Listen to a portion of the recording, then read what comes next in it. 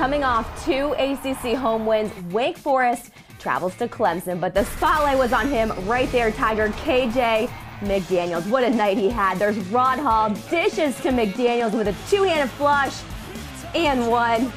Just too nice. We got to see that twice. Beautiful dime. McDaniels, of course, adding to that highlight reel. Milton Jennings giving prompts, but now defensively, McDaniels killing it inside with a block. Small forwards got hot, so athletic. He had three blocks in the first half alone. Yeah, not finished with McDaniels yet with the steal.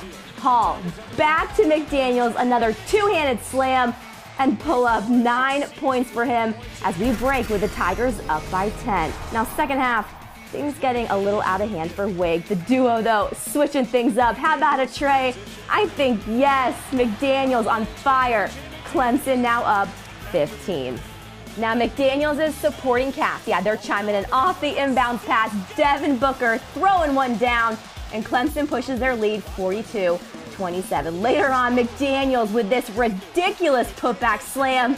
Are you serious? McDaniels going off against the Deacs.